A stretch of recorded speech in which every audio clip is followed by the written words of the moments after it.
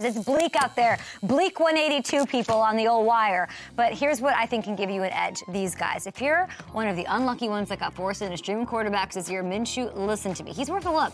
Okay, he's thrown for 280 plus in uh, per game over the last two weeks. This week's this it's this team. They got the Bengals secondary. This team has some issues. Yes, they do. So you can put up some points. At running back, I like Chicago's uh, Guy Johnson here. He's 21% roster, as you can see.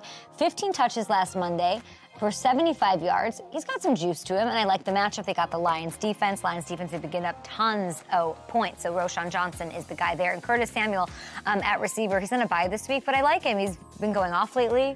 He's like doing his thing in the slot feasting 17 targets, 165 yards in the last two games. Washington's going to have to keep airing it out down the stretch. So I think this dude has some big games over the last few weeks. All right, here you go. Some guys to add on your waiver wires.